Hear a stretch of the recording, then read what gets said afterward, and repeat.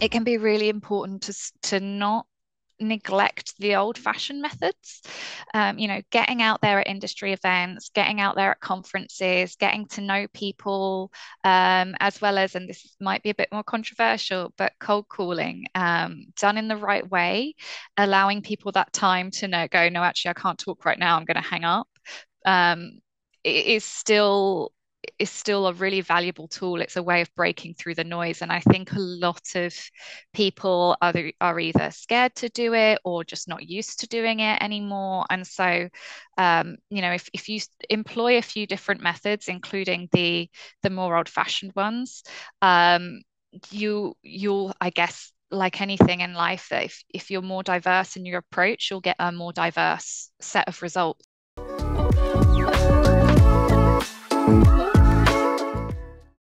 Uh, hello, everyone, and welcome to another episode of the Recruiting Revolution. Uh, our guest today is Emily Scahill from United Kingdom. Uh, with over nine years of extensive experience in HR and recruitment, uh, Emily is the head of client success at SkillSearch. Uh, so, SkillSearch uh, has been a global leader in recruiting for the games and interactive industries for more than 30 years. welcome to the podcast, Emily. Excited to have you here. Thanks very much for having me. I'm really excited to be here. Thank you. Uh, know, uh, to start off, uh, can you tell us more about your journey so far in the industry? Yeah, absolutely. So, um, as you said, I, I've worked in HR for a, for a long time um, in higher education. Uh, it was a charity uh, essentially, so not a lot of money, um, but we were always looking to develop new talent. Um, so there was a lot of hiring of students as they moved through university and left, as well as managers um, who were experienced enough to to sort of impart their knowledge towards them and trustees. Um, and the thing about working in in the charity sector is you don't have a lot of money, so you have to get really creative with how you advertise and and find new talent and and reach out and approach approach talent and really think about them and what they might be looking for and the places they might be where you might find them. Um, and I, I, kind of had this this fascination with recruitment and how you can get really really good at it um, at the same time as, as doing all the other parts of, of HR and then uh, I discovered that there was a, a game specialist talent agency um, uh, in my hometown, um, and I snapped snapped up the chance to, to work with them because uh, uh gaming has been a passion of mine ever since since I was little. So um, it was nice to be able to focus so solely on recruitment and try and get really, you know, make sure I'm I'm doing that to the best of my ability whilst joining that with a with an industry I'm I'm passionate about, um, and hopefully my kind of wider knowledge of, of the candidate experience and um, employer branding and, and all the things that I had to get really good at in my last job, I'm able to sort of translate for our clients and um, sort of su- support them with their overall talent strategy as as well as you know the the creative ways we we find to, to find candidates for the the roles that they struggle to fill. Got it. That's amazing. You know, you you told us about uh, the budget constraints that you were having, like you were facing in your earlier uh, career path. Uh, so you know at that time, like what tools were you using to you know recruit talent? Or, like uh, uh, were you using any ATS or like any any recruitment software, or was it like manually you were doing on the Google Sheets or Excel sheets? How was it? Yes.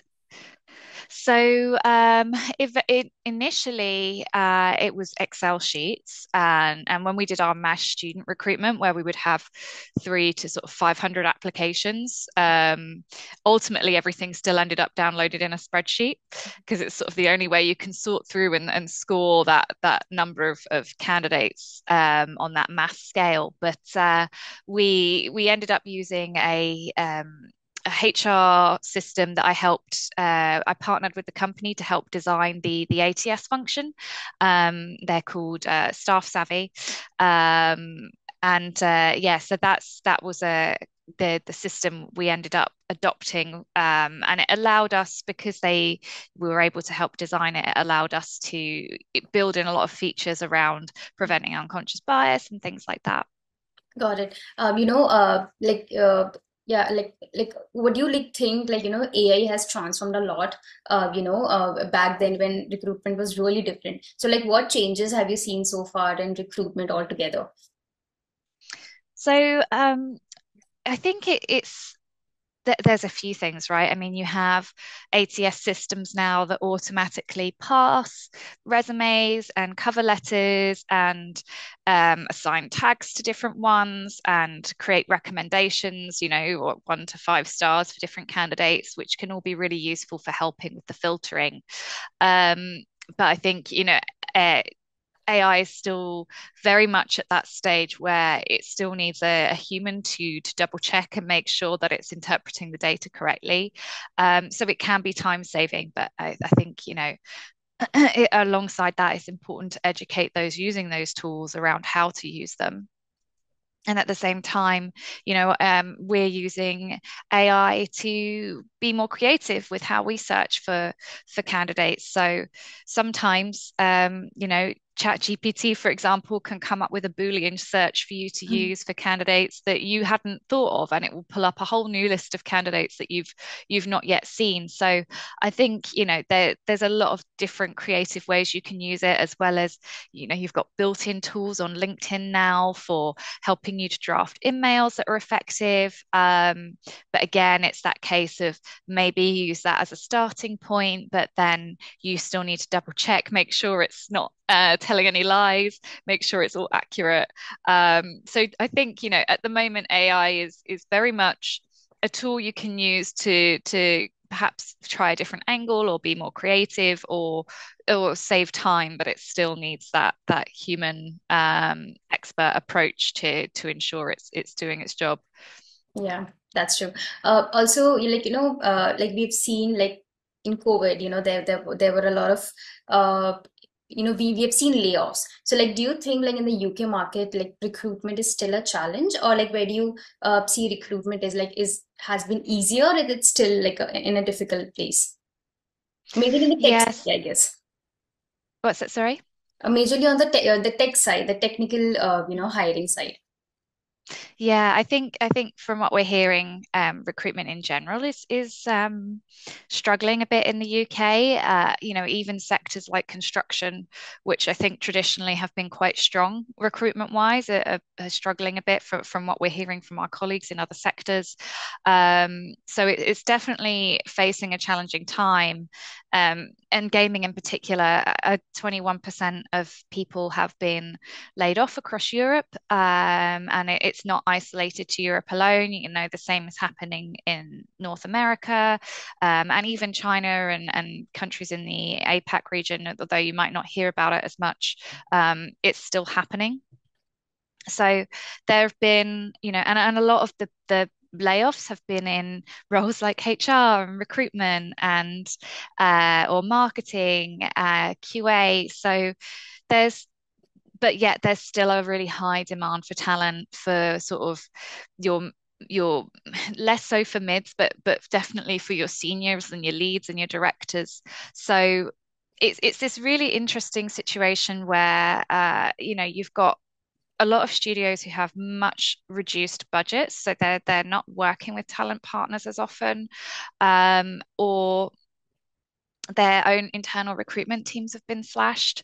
Um, and so yeah there's there's less capacity in house to deal with with applications. So sometimes what you get is when they do advertise a job even if it's at a lower level um, they get completely inundated with applications because there's so many people out of work and then they've not really got the capacity in house anymore to deal with all of those. So you get a lot of applicants sort of left in the lurch and they never hear back. And it's a really tricky time. And, and you know, it, it's, my heart goes out to internal TAs as well as candidates. I don't think anyone's really winning right now.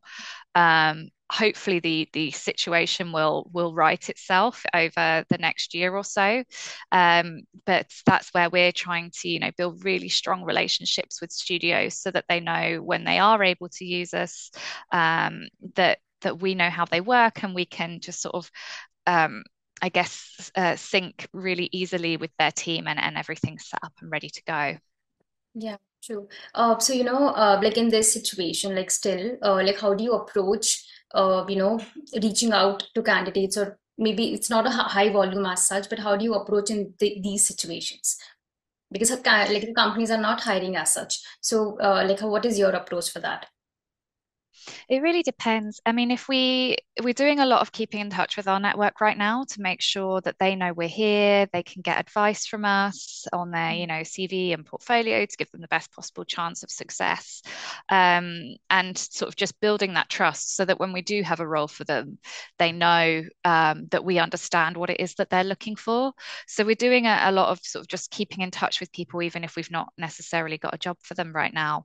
Um, but when we do have a job for them, I think it's, you know, it's about really asking the right questions and digging deep because ultimately we we want to place people in jobs. That's that's what we're in it for. Um, you know, it, it, people are in really difficult situations often at the same time we need to make sure the client you know the fee payer is happy and they're getting value for money. So it's making sure that we are and again i think this goes into knowing your candidates before you even have a job for them. Um, making sure a candidate really is going to be happy long term or at least for a couple of years at the studio or company that you're sending them to by understanding you know their values their culture uh, what really motivates them at work. Do they prefer a, a big kind of behemoth of a company um, with lots of rules and processes already in place, or do they like working at a startup because there's a lot of those popping up right now and wearing lots of different hats and having lots of ownership, um, but also sort of less structure and needing to be more okay with things being uncertain. So it's knowing and understanding all those kinds of things so that you know we are placing people in roles that they'll be happy with for for a long period of time rather than as is often the case when you hire direct and a, and a candidate can see your company and, and your your website or your studio they end up kind of telling you what you what they think you want to hear. Um, and and often understandably many of them have been out of work for quite a while. So um, it, it can be really it, it, essentially you've just got to make sure that that it is a role that they're going to be happy in rather than one taking one they're taking because they they don't really have any other choice. Um, and at the same time as well trying to reassure people because games can be quite often um, an unstable industry. If you know projects end and people are laid off etc um, or people move on and teams change and things. So you know we've I think uh, a percentage of people over the last sort of year or two have had to take jobs outside of games. Um, so it's trying to hold on to and retain that talent as well. Um, quite often, people are really passionate about the industry, so at least that goes in in in the fa- in in its favor. Yeah, got it. Uh, also, you know, you you you mentioned that you you work with different studios and you know, of course, different uh, good companies. Uh, so, like uh, in the gaming uh, sector, I would say, like, what is the like the hiring process looks like? Is it like similar to most of the um, the you know the computer science area or is it different? Like the assignments or you know how, how how's the process looks like it really varies. Um, you know, some studios will um, have a one stage interview and then they'll hire. Some will have seven stages. Um, some will have a test, some won't. And it, it varies as well depending on the role. Um, so, you know, an engineering role or perhaps an art role is more likely to, to have a test. Things are, um, studios are now thinking about whether or not those tests should be paid or not, because it, it, some of these tests are quite long. And so, if a candidate's putting a lot of time into that and then ultimately they don't get a job, at the end, it, it may leave them with a sour taste in their mouth and, and they may, you know, not apply to that studio again in future when perhaps they might be more qualified or might sell, uh, you know, talk to their it's quite a small close knit industry in some senses. They might sort of say to their friends oh you know it's annoying. I, I did this test. It took a week or it took two weeks and I never I didn't get the job or um and I think in some some respects you know whether it's paid or not paid is is kind of a new it being paid is kind of a new thing but in in the very least um, studios need to be giving feedback detailed feedback when someone's put that amount of time into something um, just to ensure there is a good candidate experience. So i don't know how that really compares to other sectors so much but um, it it can vary quite a lot across different studios Okay, so you uh, you mean paid by in the sense the candidates uh, get like some kind of reward or like or how how or like what's the paid situation? So yeah, sometimes studio will pay a candidate, um, I guess, a fixed amount for for doing a, a test, just Okay. because of the, the the sheer amount of time that that these things take, or or you know, it, it it's their sort of intellectual property in a way as well, I suppose. So yeah. Okay. I've not heard it. I I, I don't think uh, it's it's like a thing in any other like you know skill sets. I feel might be some like there's something new that I'm hearing actually. Yeah. Oh, that's that's interesting. Yeah. Uh, so yeah, uh, you know, also like wanted to like you know, there's there's one challenge that you know comes up uh, is like when we have a lot of candidates, like you know, so like when we have a lot a lot of candidates, the market is like getting the attention, and you know the talent that you're looking for uh, uh is is like is, is like the quantity is very like large. So how like do the company you know gets the name out? Like for example, like what strategies are companies using to attract like those top talent? Like, you know, uh, yeah. Yeah. Yeah, I mean, it really varies um, depending on the company. I mean, you have some companies um, where the name is really well known already because of the the titles that they've already released. You know, they they kind of have a captive audience in some respect because uh, people are the people working in that industry are quite often fans of their game. So, you know, you you have your big um, what we call AAA, uh, big budget studios. Um, I suppose it's you know in the in the same way as working in the movie industry, it, you'd be hard pushed to find someone that hasn't heard of Disney.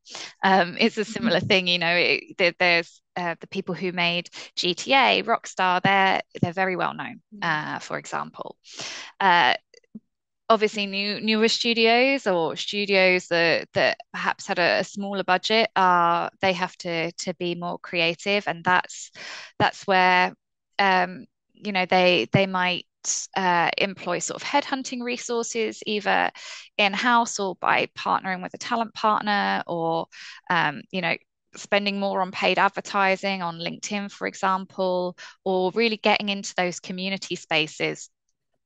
You know, there's a lot of um, a lot of sort of community platforms and groups like Discord or um, Women in Games, or um, I'm going to get the name wrong, I think, but um, you know, Black Girl Gamers and things like that.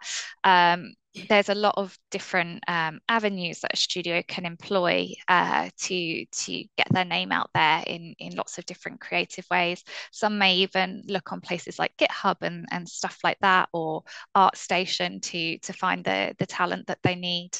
Um, but I suppose the less well known your name is, the more you might need to employ kind of direct um, direct headhunting and then it's about really understanding your audience understanding what candidates what the right candidate uh, will see as attractive in your studio and, and, making sure that message gets across not only in the initial outreach um, but also throughout the the selection process during interviews and things Yeah, got it. I mean, the, the companies, like startups generally don't have that much of funds. So I think these tips might be helpful.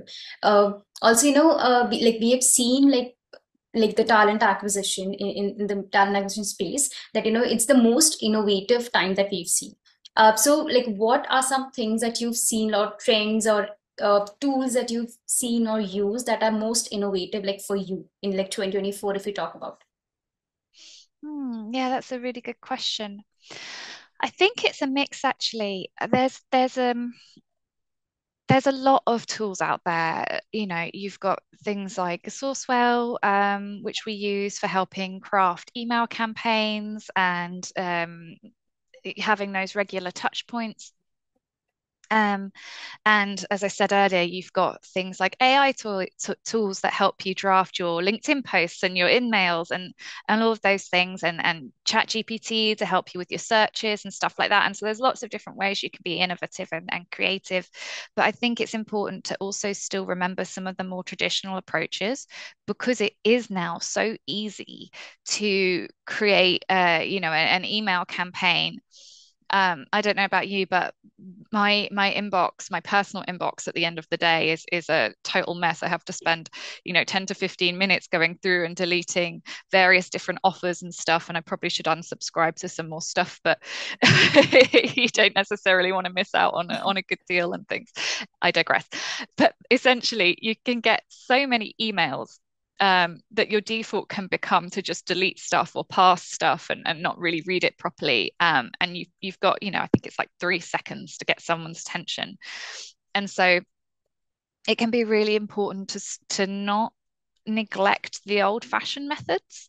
Um, you know, getting out there at industry events, getting out there at conferences, getting to know people, um, as well as, and this might be a bit more controversial, but cold calling um, done in the right way, allowing people that time to know, go, no, actually, I can't talk right now, I'm going to hang up. Um, it is still is still a really valuable tool. It's a way of breaking through the noise. And I think a lot of people are, are either scared to do it or just not used to doing it anymore. And so, um, you know, if, if you employ a few different methods, including the the more old fashioned ones, um, you you'll, I guess, like anything in life, that if, if you're more diverse in your approach, you'll get a more diverse set of results. So, um, and and really, um, it, when you if you actually want to get to know someone and, and understand what's important to them you have to have to have a conversation and and sometimes that that can be a number of conversations over a period of time yeah, I feel that, you know, picking up the phone is always better than, you know, scheduling a like making them the candidate schedule the call on Zoom because it's the rate of someone picking the call is always, you know, uh, greater than, you know, someone booking a slot.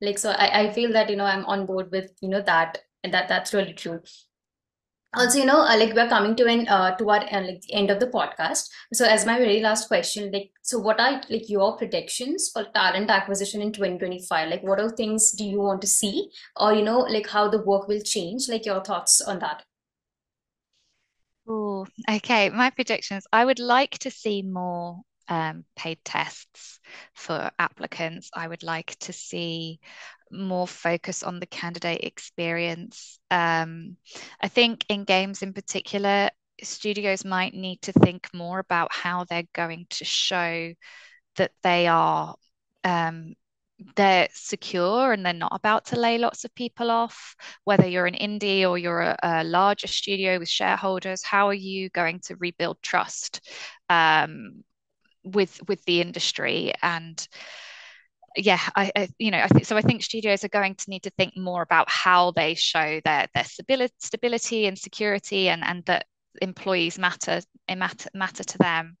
But um, I think one of one of the main predictions that that will that I would guess would happen is there's a lot of pent up um, uh, job moves right now you know our survey we run an annual survey every year and um, the the one for 2024 showed i think it was 70 to 75 percent of people were considering um, a job move, whether that was active or passive, um, they would be open to a job move if the right job came up. Um, and uh, there have been a lot of people, particularly in games and the interactive space, where they haven't moved because they're too nervous about you know getting laid off in in the often there's that adage of like the the last to join the first to leave and things like that. Um, so there could be not perhaps as extreme as what followed um, COVID, uh, where we had the great resignation, but there could be a great resignation too of people who've been holding on. And as the market returns to some sense of normality, I don't think it's going to be the the mad rush that we saw before, but as it returns to some sort of normality, there will be more people leaving who perhaps you had no idea were even considering it, um, who will then need replacing. And, and so I think studios really need to have a bit of a think about who is it going to be an absolute disaster to replace if they leave? What are going to be the most challenging roles to fill? What are you doing to um, secure your existing talent? Um, and what are you doing to develop their their replacements or or to think about where you'll find talent externally to to replace them. So um, those those that I think is is what will happen not necessarily in the first half of 2025 but in the second half I think we'll see as I say a lot of pent up job moves um, happening. Yeah that's true. Uh, yeah uh, so uh, Emily thank you so much for you know uh, being part of the show. It was lovely having you Thanks. It's been lovely being here. Thanks so much. Thank you, Emily.